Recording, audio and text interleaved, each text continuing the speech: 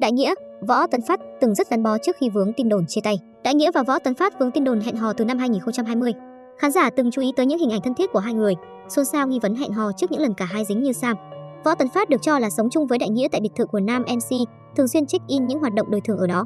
Trong những chuyến đi chơi cùng gia đình Võ Tấn Phát, Đại Nghĩa cho thấy sự thân thiết của mình với đối phương.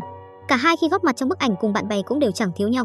Võ Tấn Phát từng chia sẻ, Đại Nghĩa là một người anh trong nghề, là người đã giúp đỡ mình rất nhiều trong đời sống và công việc. Khi tôi thi cặp đôi hài hước, anh giúp đỡ tôi rất nhiều.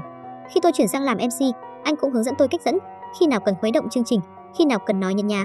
Vì MC không có trường lớp nào đào tạo, nên được học hỏi ở anh Đại Nghĩa là một điều may mắn, giúp tôi trưởng thành lên rất nhiều.